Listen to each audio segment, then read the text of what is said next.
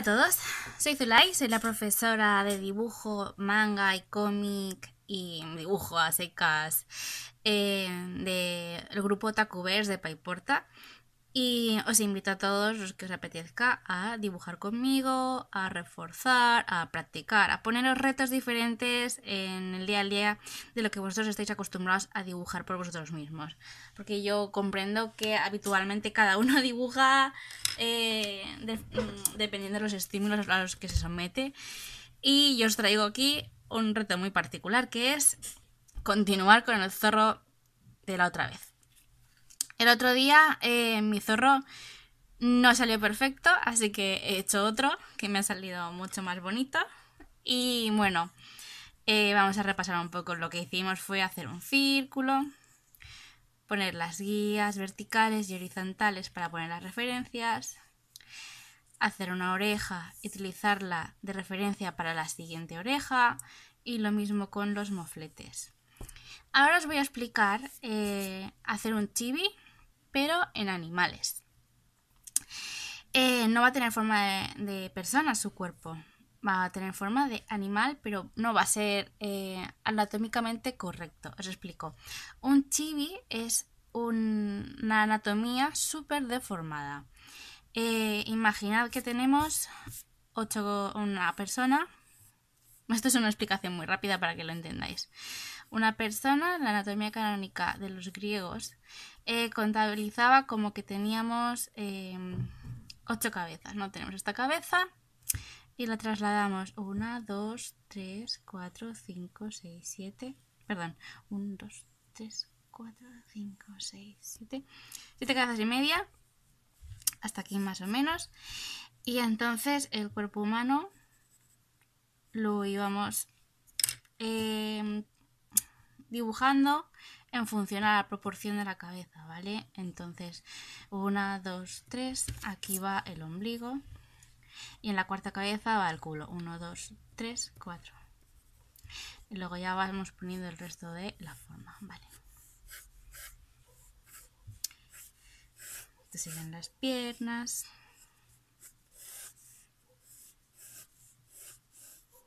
Esto es la práctica y chicos, esto no lo hagáis en casa porque yo tengo mucha práctica, pero vosotros no. Vale. Estas serían las ocho cabezas, ¿no? Pues un super deforme significa que nuestro dibujo no va a tener ocho cabezas reglamentarias ni anatómicamente, mm, eh, como se dice, ilusoriamente correctas, ¿no? Va a tener dos cabezas. Quiere decir que nuestro personaje va a ser una cabeza y trasladamos y aquí nos tiene que caber el cuerpo habitualmente eh, con animalitos va a ser como con las personas, es reducir esta proporción a esto, esto a esto. Y ahora os voy a hacer un ejemplo rápido, ¿vale? Esto imaginad que es una cabeza, ¿vale? Sin orejas. Vale, pues ¿esto es el cuello? No, esto no es el cuello. Yo lo hago a mano alzada para que veáis a lo que me refiero.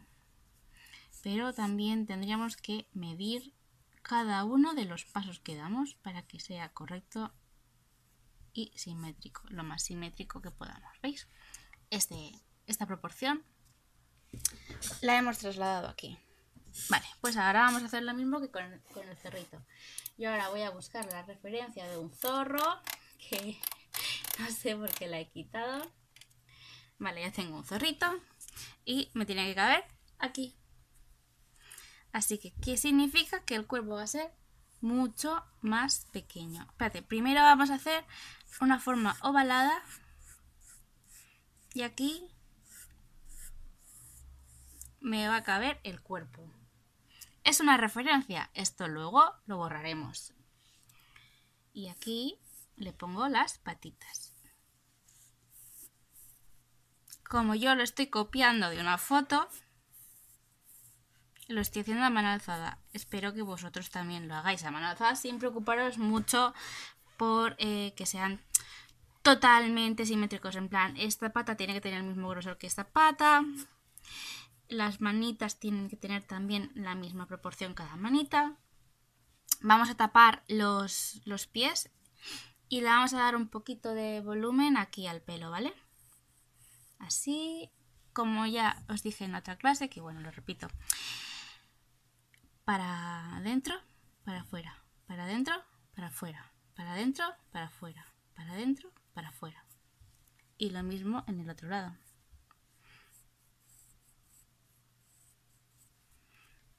La cola la vamos a poner más o menos por aquí.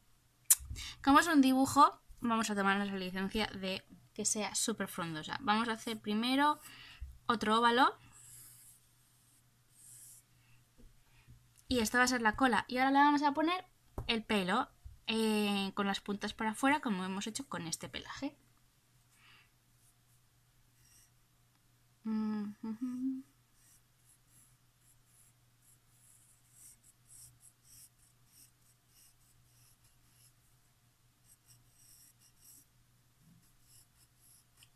viendo que estoy tapando una de las patas.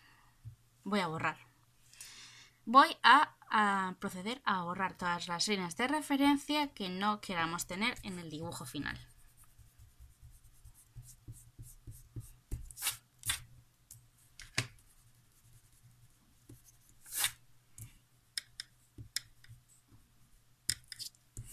Y os podría contar cosas mientras borro, para no aburriros, pero en realidad vosotros también podéis estar borrando vuestras líneas a la vez que yo borro las mías. ¿Y qué vamos a hacer ahora? ¿Qué nos falta? Sí, nos falta una patita. Sacar un poquito de pelaje por aquí, por esta patita.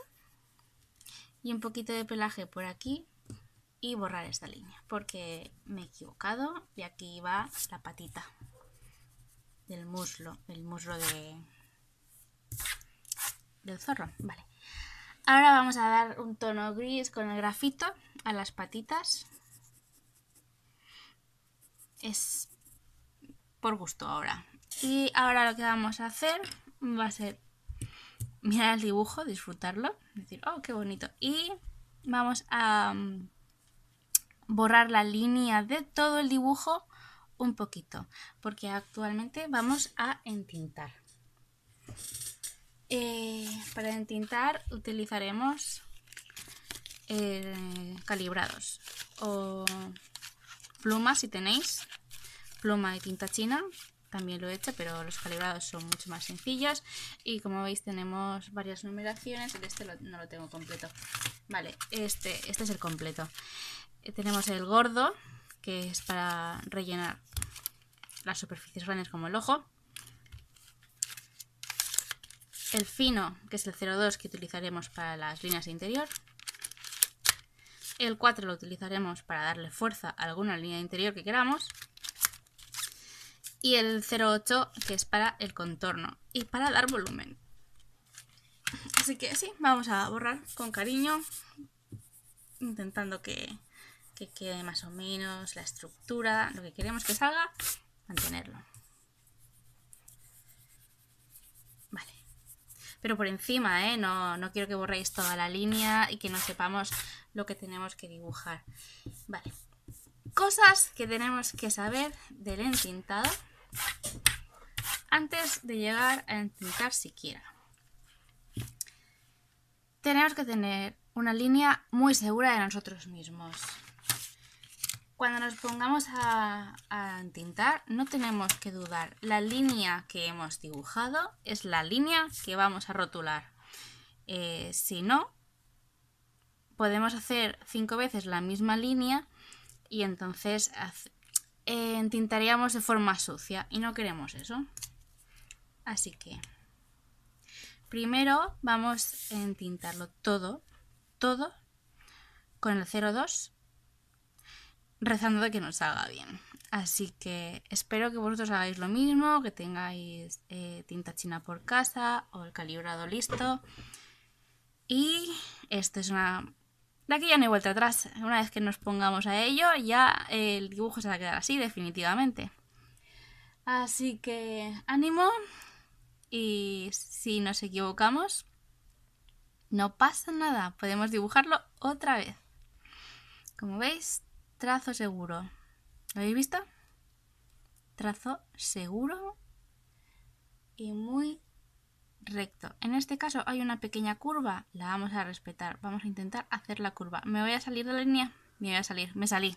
No pasa nada porque era lo que yo quería, quería salirme. Lo malo, aquí tenemos una curvatura y aquí tenemos otra, así que, lo ideal sería que tuviera la misma. Así que voy a retocar para que en la siguiente línea que yo haga imite esta. Ya al principio ya me he equivocado. Pero bueno, estos son gajes del oficio. Esto al final también requiere mucha práctica y dibujar muy, muy al detalle todo para que cuando nosotros vayamos a entintar no haya que eh, seguir inventando, seguir probando. Ya tienes clara la línea, entonces simplemente la repasas, la repasas con toda la perfección de la que seas capaz. Como veis, con seguridad.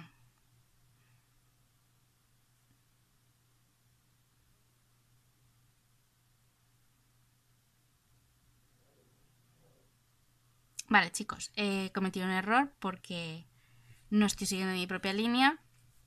Esto es un defecto de profesional avanzado que vas improvisando. Entonces a partir de ahora voy a intentar seguir mi línea para que vosotros no os confunda, porque vosotros tenéis que seguir también vuestra línea. Tenemos que estar seguros y convencidos de que nuestro trazo es perfecto y que no hay nada que cambiar ya.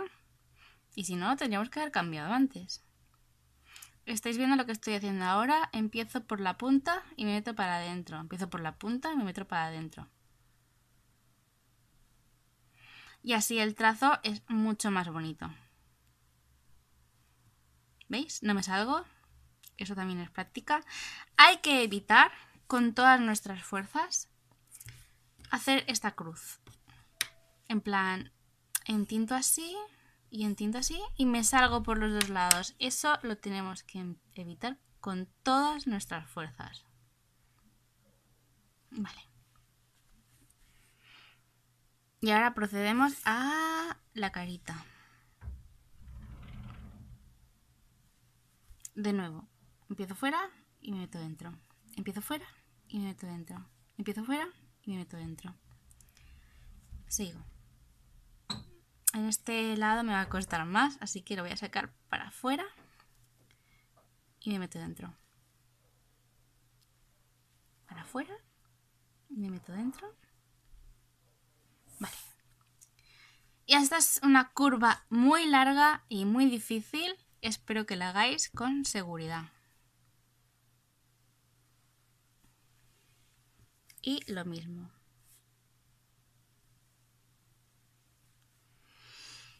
Bueno chicos, ya vemos mi primer error. Esto hay que evitarlo a toda costa. Seguimos. Ahora la boquita.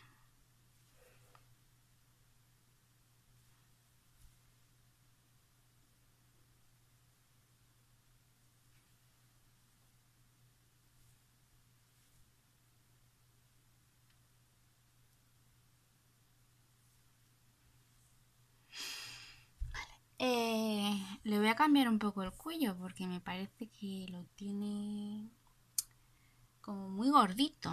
Mm. No, no voy a cambiar nada. Continuamos. La línea que hemos dibujado, la línea que seguimos. Para afuera, para adentro.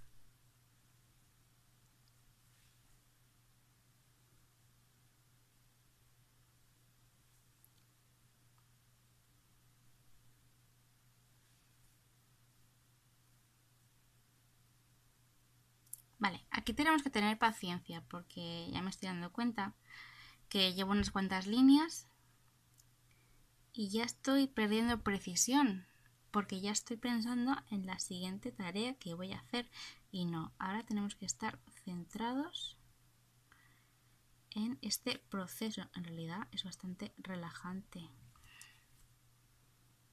porque tienes que ser, eh, que estar muy concentrado. ¿Veis? Aquí me he dejado un hueco. Eso no se puede permitir. Voy a rellenarlo.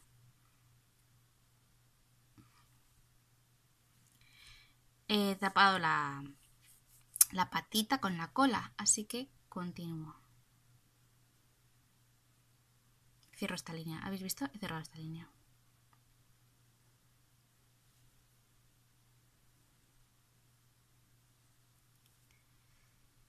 Continúo.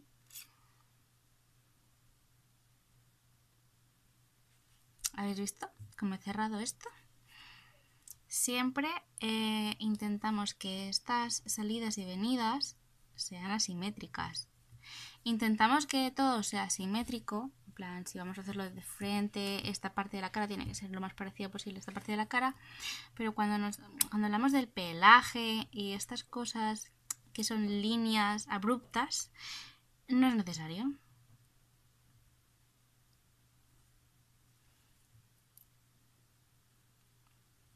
Y bueno, yo solo espero que estéis entintando vuestro dibujo como yo estoy haciéndolo con el mío. A ver, la patita. Procuramos que no haya ninguna línea abierta. Y ahora más pelaje. Más pelaje. Esto sí no lo tenía dibujado y lo estoy inventando. La patita la patita. La patita. La patita. Muy bien. Ahora vamos a seguir con los ojos. Em, ah, la línea esta. Esta línea también la vamos a entintar, ya que estamos.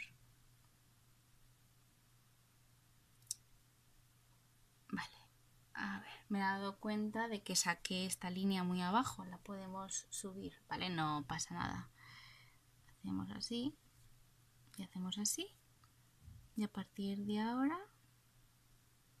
las líneas que salen salen de otro punto.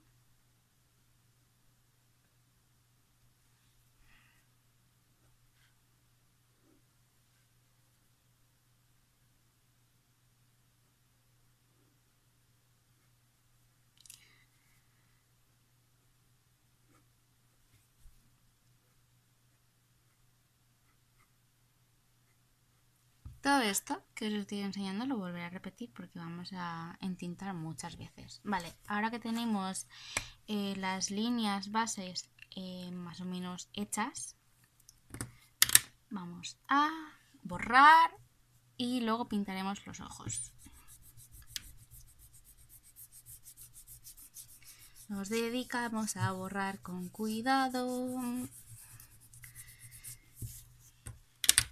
No queremos que se nos rompa el folio. Esto es muy común. Eh, borras con mucho brío y el folio estropiciado enseguida. Pero no queremos eso. Queremos que nuestro folio perdure.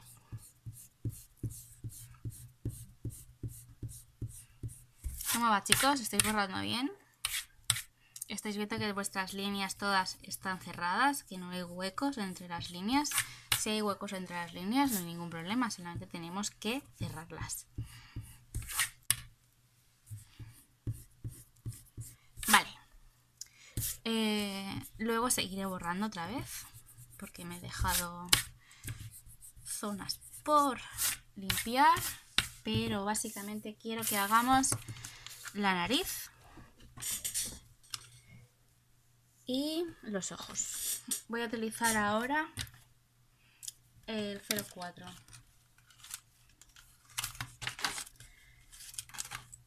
Vale.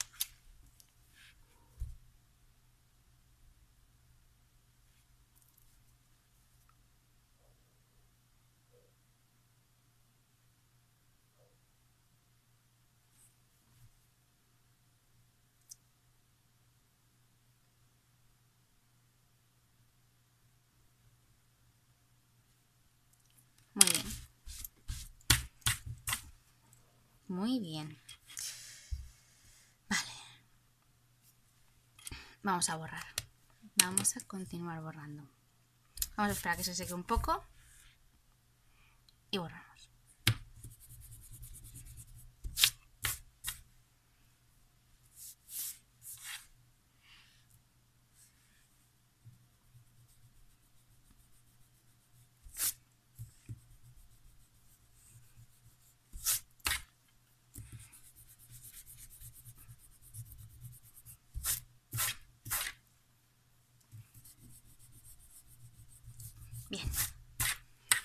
¿Cómo la línea? ¿La veis clara? Más o menos, ¿no? Vale, vamos a seguir perfilando. He borrado todo porque sé por dónde va a ir mi dibujo. Espero que no lo hayáis hecho vosotros. Pero, ¿veis? Estoy dándole forma al interior del ojo.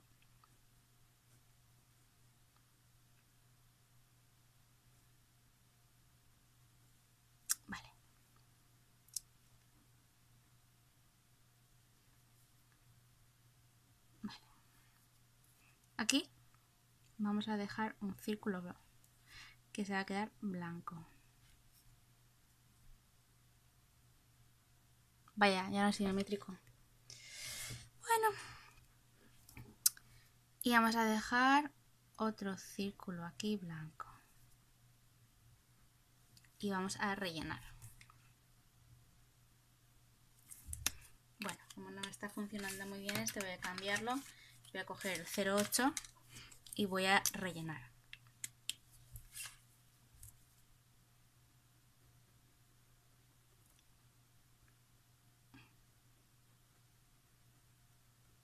Con, cuidado de no salirnos, no salirnos.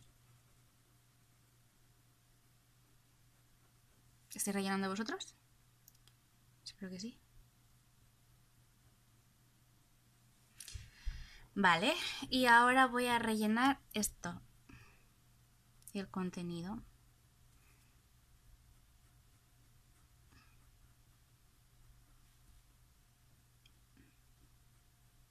Con cuidado de no salirnos otra vez.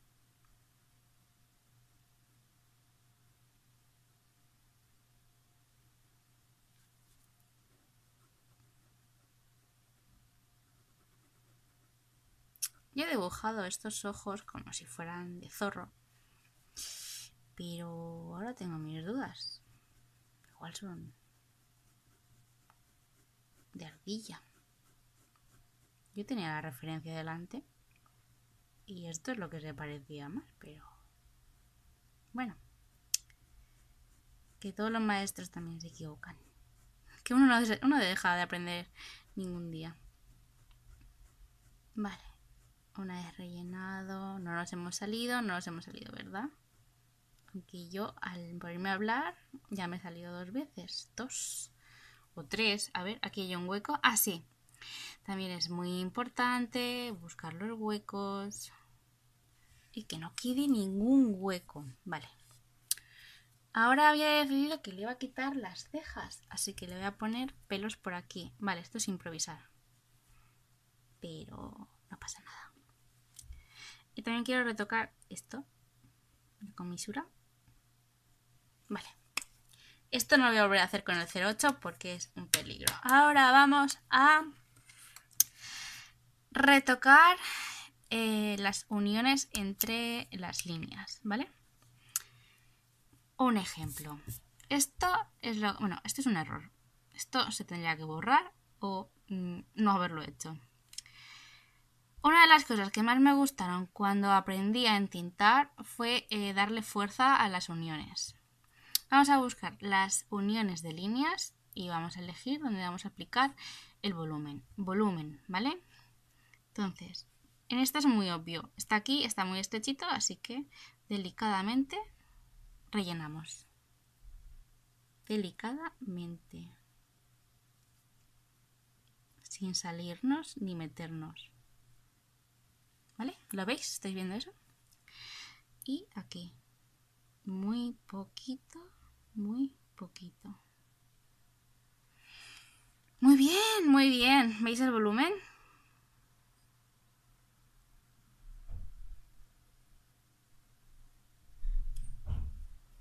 Sí, sí. Está, está saliendo, está saliendo. Vale, aquí también lo podemos hacer, pero eso supongo que lo haré con otro rotulador después. Las comisurillas estas le podemos dar volumen y también podemos dar volumen a esta línea. Bien, ¿no?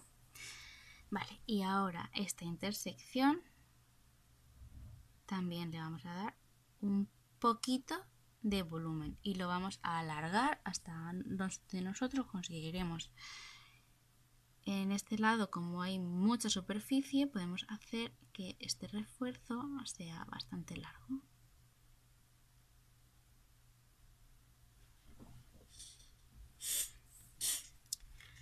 Mm, ¿Qué más? ¿Qué más?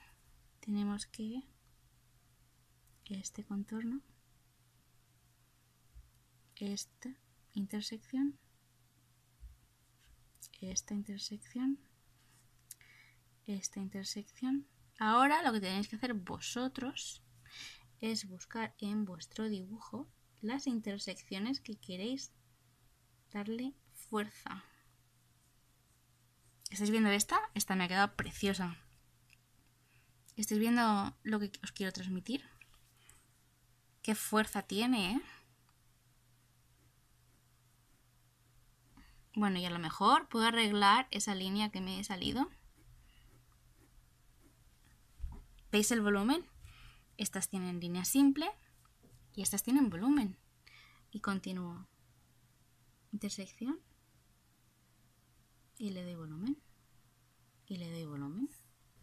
Sutilmente. De nuevo. Aquí también. Le doy volumen. Es un detalle. No tenemos que hacer todo el dibujo. No tenemos que repasar toda la línea todo el rato. Es detalle.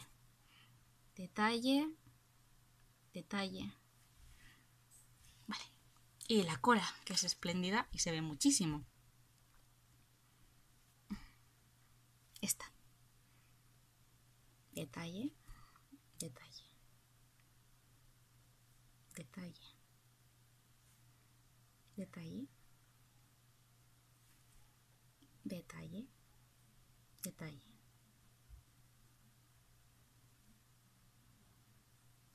Mm, me he salido, no pasa nada. Os va a pasar a vosotros también. Así que estaremos todos mal de muchos detalle. Y así hasta que tengamos todas las intersecciones. O al menos en las que queramos darle volumen. Otra de las cosas que podemos hacer cuando tenemos un dibujo de esas características para darle volumen es siempre tenemos que tener en cuenta que unas líneas van a quedar simples y otras van a tener más fuerza, ¿vale? Vamos a darle volumen por aquí, pero el 0,4 no me está funcionando muy bien, así que voy a coger el 0,8. Volumen por estas partes, ¿vale? Y no es como este volumen, que es bastante controlado. Este es mucho más peligroso. Tenemos que coger y con tranquilidad y seguridad repasar la línea que ya hemos hecho previamente en 0,2. ¿Lo veis? Y volumen, ahora sí, ahora volumen. Pero no vamos a hacerlo en todas, vamos a hacerla en esta de arriba.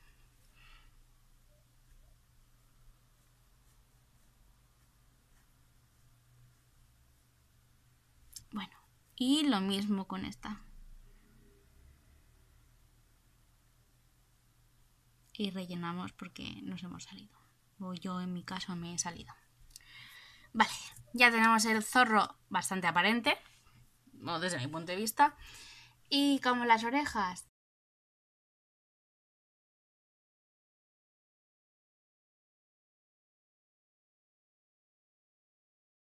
puse esto lo rellené en negro y le acabé las orejas. En este momento tenía que respetar el círculo de referencia y acabar las orejas aquí, que es algo que no hice en un principio, pero las orejas están de frente, tienen que acabar aquí.